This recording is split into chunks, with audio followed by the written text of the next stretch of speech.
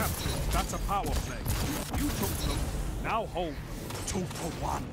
Zone C lost. You're pulling ahead. Keep it that way.